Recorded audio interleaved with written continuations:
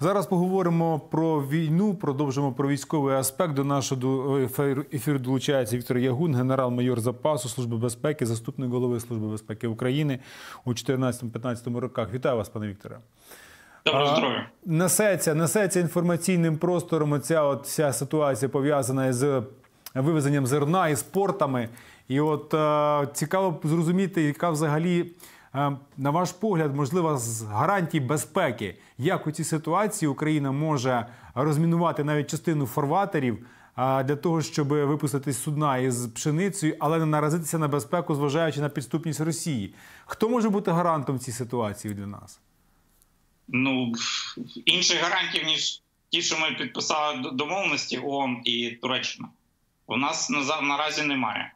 Тому е, будемо сподіватися, що вони розуміють е, всю небезпеку, особливо після удару по порту е, Одеси Росіян. Я сподіваюся, що вони розуміють всю підступність і і все, що може бути з ними пов'язано. Ситуація дуже проста. Ми зі своєї сторони все виконаємо. Е, я не скажу, що там надзвичайно величезні е, будуть е, проходи зроблені. Ми не будемо нікому повідомляти ці проходи. Наші лосмани будуть проводити кораблі. Я розумію, що вони будуть можуть записати ті всі дані, але сам факт про те, що росіяни просто так не можуть пройти, це однозначно. У нас є можливості військові. У нас є ракети, і наш Нептун, і е, західних партнерів, які нам передали Агропун. Е, я думаю, що плюс-мінус 100 кілометрів це та та відстань, на яку е, агресор просто не зможе підійти ближче до наших портів. Якщо він тільки спробує підійти, думаю, що відповідь буде миттєвою.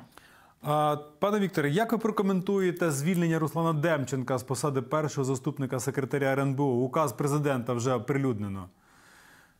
Ну, це така, знаєте, дуже така контроверсійна е, особистість. Ви ж знаєте, да, що він е, і, е, будучи першим заступником міністра закордонних справ при Януковичі, займався харківськими угодами, і він виступав в Верховній Раді, агітуючи за них і він же мав е, відношення до е, того, що е, не дуже не дуже сприймав і відверто глузував з революції гідності і так далі. і так далі. А що відбулося після 2014 року? Ну так він прийняв якусь одну з сторін. Він активно активно не сприяв там ворогу. Він все ж таки був на якихось там посадах. Чим він займався? Ну я упущу. Е, стоїть питання про одне: е, хочемо чи не хочемо, нам треба приймати західні стандарти. Є в людини проблеми, є до нього питання. Який би він не був, треба е, позбавлятися таких людей. І зараз подивимося, чи він просто був звільнений, чи він просто буде переміщений. Знаєте, це ж дві зовсім різні історії. Тут ФСБшники дзвонять у всі дзвони про те, що нібито зірвали спецоперацію українських спецслужб із викрадення літаків су 24 су 35 і от вони кажуть про те, що це от була така велика спецоперація, тим більше, що натякають, що українці ж платять за від 1 до 2 мільйонів доларів за такий літак. На ваш погляд, взагалі такі історії можливі? Чи це просто росіяни собі так щоки надувають в барабани б'ють? Я не знаю. Ну взагалі вони е, можливі чому, тому що теоретично, е, колись росіяни працювали по Україні, пропонуючи е, льотчикам зраджувати Україну, і ми знаємо, що такі факти були в Україні, коли ще на початку незалежності деякі офіцери, які прийняли сторону ворога, перейшли разом з літаками на їхній бік, і не виключено, що вони просто по аналогії вирішили зробити таку історію. Ну що, не знаю, це напевно така е, з їхнього боку реклама наших спецслужб.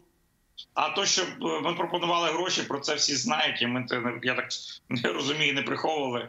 Тому е, ну, хочуть вони чергову операцію е, чи там перемогу свою. Ну їм ж треба щось про щось звітуватися. Нехай звітуються. Я, я до речі, не виключаю можливості, що це була ініціатива е, самих льотчиків з Росії, і вони її просто викрали. Тому що ми знаємо факти ще з радянського союзу, коли льотчики перелітали на сторону і в Японію втікали, там і в інші країни. Тому думаю, що це така справа, знаєте. Зважаючи на ту кількість останніх викриттів, особливо у вищих ешелонах влади, я натякаю на, е, на колишнього керівника Служби безпеки по Криму. Як ви вважаєте, у нас в принципі з консервами російськими, коли вони закінчаться? Яка потрібна ще не знаю, як це назвати, люстрація, переатестація? Що потрібно ще провести, щоб ми зрештою позбулися оцього баласту? Це навіть не баласт, це вороги, які нам постійно б'ють у спину. Хочу, хочу вас розчарувати, тому що, на жаль, е, система, по якій працює Російська Федерація, зокрема по е, здобуттю е, джерел тих чи інших органів влади, вона стала і розрахована на багато років. І е, я думаю, що це буде е, постійна така небезпека е, викриття агентури в наших спецслужбах і, і в Міністерстві оборони. Я беру по аналогії країни Балтії, де в мене дуже багато друзів, і ми спілкуємося, і вони розповідали, що вони навіть після 20-25 років очищення своїх спецслужб все одно виявляли людей, які працювали на Росію, і вони їх виковирювали дуже дуже дуже е, тяжко і важко. Чому тому, що ну це система така була. Знаєте, вони е, справді працювали на е, перспективу на якісь там роки десятиліття.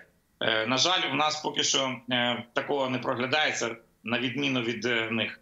Я сподіваюся, що наші спецслужби так само прийдуть колись до такої роботи на перспективу, і ми колись будемо таку саму мати ситуацію в Росії, коли росіяни будуть бігати і шукати наших агентів. Але це постійна така боротьба, і вона буде тривати вічно. Інша справа кількість їх, якість це да, це треба е, дивитися, треба працювати, треба вичищати ті всі е, так звані агріві конюшні. Я сподіваюся, що ця війна це один з тих методів очищення, який дозволить нам вийти з неї більш підготовленими і, е, не, і, і захищеними від ворога. На ваш погляд, наша розвідка, наша контррозвідка зараз професійно зросла. Якщо, наприклад, зважати на те, що у нас були успішні операції по ліквідації Мотороли, Гіві, е, Захарченка, і по нинішній ситуації, є ріст, чи все ж таки поки його немає? Ні, та ріст є, він нікуди не дівався. Тут же стоїть питання не в людях, які здійснювали операцію, а стоїть питання в політичній волі е, керівництва давати ту чи іншу команду. Зараз ті команди даються, зараз ніяких зволікань немає. За останні п'ять місяців були і з нашої сторони успішні операції. Ви подивіться, нещодавно е, активно працює, до речі, не тільки е, е, розвідка або е, активні підрозділи контррозвідки, а й сили спеціальних операцій, тобто всі задіяні в тому, щоб ворогу е, було трохи е, неспокійно на території е, на окупованих територіях. Ми бачимо е, останній оцей підрив е, е, суду е, в Лисичанську, де знищено було близько 50 окупантів. І таких е, моментів дуже е, багато мо- можливо, ми про не всі знаємо. Тобто не треба так казати, що воно десь там просіло. Ні, тут е, стояло питання про політичну волю. Інше питання, що треба приймати рішення кардинальне і переходити від роботи на нашій території до роботи на території ворога.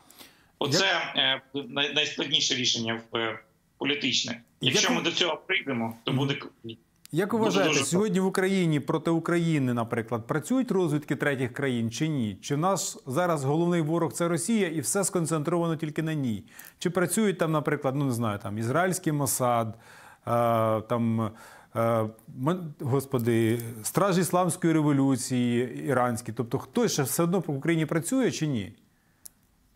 Е, навіть не сумнівайтеся, працюють. І в тому числі працює і американська розвідка, і британська розвідка. Чому? Тому що вони мають отримувати незалежну інформацію, яка буде підтверджувати або спростовувати ту інформацію, яка отримується по ем, офіційним каналам. Це система, і ця система вона нікуди не, не, не дівається. яка б дружба не була, яких би е, не були взаємовідносини, завжди є необхідність перевірити і доповнити інформацію з незалежних джерел. Тому е, всі працюють. Інша справа активність. Е, Не думаю, що зараз е, Ісламська е, Республіка активно працює на нашій території, тому що в них досить обмежені можливості, хіба що через своїх е, представників е, або діаспори, або е, студентів, які тут ще вчаться. Це в першу чергу. А тому треба просто спокійно це сприймати, контролювати цей процес, щоб він не виходив за якісь межі, і дуже жорстко бити по рукам, якщо комусь захочеться залізти в е, ті таємниці, які в кожної держави є і завжди будуть. Дякую вам, пане Вікторе. Спасибі величезне. Дякую за участь в програмі. Віктор Ягун, генерал-майор запасу Служби безпеки, заступник голови Служби безпеки у 2014-2015 роках.